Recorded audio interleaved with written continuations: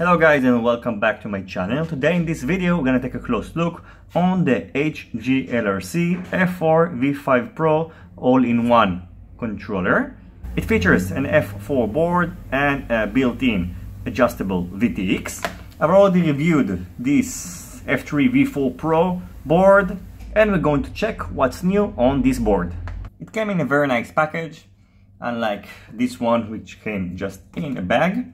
Inside the package we get in an XT60 female connector, the board, the buzzer, the antenna extender, its RP SMA, and all the needed screws and wires. At the first glance you can see that the board is not identical and some things have been changed. Let's spot the differences. First of all, the antenna connector is not the same. The old one had an IPX connector and the new one has this new and not standard connector.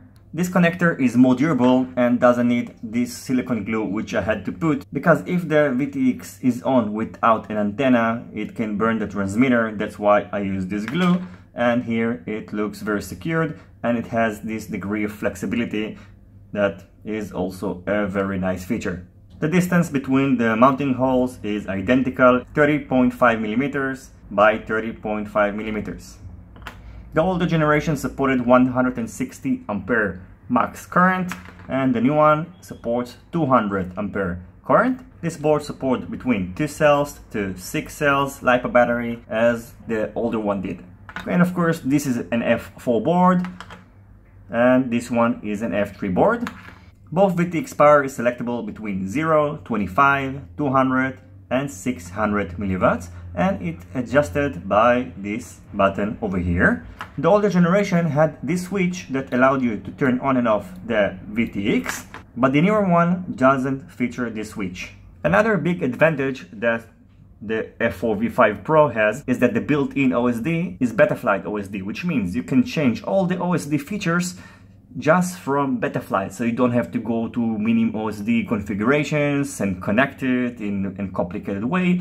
Just connect it to your computer and you can adjust the OSD versus on this one you had to use the you had to program it with, via an external program. So it's a big plus for the F4 V5 Pro. In addition, the build quality of the F4 5 Pro seems better than the older generation. Even the sticker looks nicer on the new one. Not that it makes a big difference, but the board looks cleaner and nicer. Let's have a look on the board on and all the connectors. So on the sides of the board, we have the plus and minus. It powered from directly from your LiPo connector, which means the voltage is going to be identical to your LiPo voltage. On each side we have the signal connector, which means we have here the S1, S2, S3 and S4. So it's very convenient. So each signal is closer to the motor where it's supposed to be connected. We have here the front, which means this is going to be the front of the quadcopter. So S1 and 2 and 3 and 4 is a classic motor layout of Betaflight. You can see that in the older board it used to be just a pad which where you had to solder the signal wire and here it's a hole so I think it's going to be much neater and the signal wire is going to be more secured to this board. Now if you're planning to run an hexacopter you wouldn't be able to because it supports only four motors where the old one used to support eight motors. So it's going to be suitable only for quadcopters. Both sides have plus and minus connectors, so you can connect your ESC directly to these pads. The older generation didn't have these pads, so you have to directly connected to this plus and minus, and it was more messy, so this will give you a cleaner build. The weight of the board is almost identical. The older one weighs 22.8 grams, and the new one weighs 22.5 grams, so it's almost identical in weight. Changing the channel is a little bit different than the older generation. By the way, when it's powered with USB, the VTX is not going to work, but you can still configure the channel. But it's still a good habit to keep the antenna connected whenever you are working with this board. Changing the channel is simply done by short pressing this button.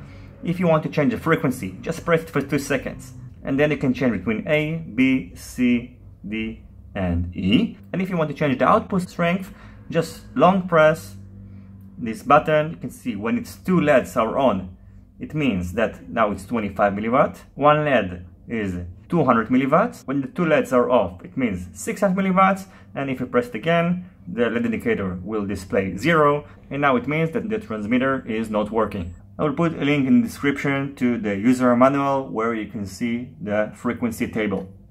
As I mentioned before, it comes pre-flashed with Betaflight, and you can see that you can configure the OSD on this part, which is very convenient. Now, of course, the main downside of buying these kind of boards that if something is not working right, so you have to change the entire board. And actually, this is not so expensive. This costs less than $50 and the older one cost about $42. I don't see any reason to buy the older generation, even that it's still being sold on Banggood. Only if you plan to run an hexacopter and octocopter, maybe you should consider it. In addition, it uses the Betaflight OSD, which, as I said, it's much easier to configure. In the end of the day, I will have to test this board and see how it performs on one of my next builds. I'm going to use it, and one of the big advantages of this boards that it gives you a much cleaner build. And, and if you're using a 4-in-1 ESC controller, all you need to do just place the, the 4-in-1 ESC, then this board, and just motors and camera of course in a frame, and you're good to go. One of the things that I think HGLRC should implement is instead of this boot button, which can be easily torn off the board, I think they should put a button. It will be better and more durable. They had the same boot pad on the older generation and they didn't change the design on the new one. So I hope you enjoyed this overview of this new F4 V5 Pro board. If you have any question about it, feel free to ask it in the comment section below and I will do my best to help you. See you in my next videos and goodbye.